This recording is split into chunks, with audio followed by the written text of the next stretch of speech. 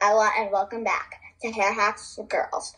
Um, by the way, if you're wondering why my speech is weird, it's because I got a retainer, but make to find more about that, make sure you go to EMS Creative Studios. So make sure you go check that out.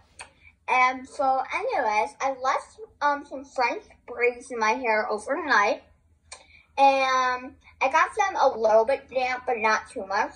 Um, and then like um, so then I slept with them overnight, and then about an hour after I woke up, I took them out, and my hair became really curly. They're really pretty like waves. Um, and yeah, so another good hair hairstyle with this hair is where you can just put a high pony and then in, and then your hair will be all curly in the ponytail.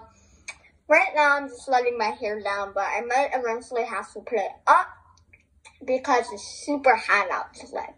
So yeah, anyways, um, make sure you go to EMS Creative Studios to check out my video about my retainers. And yeah, thanks for watching. Bye guys.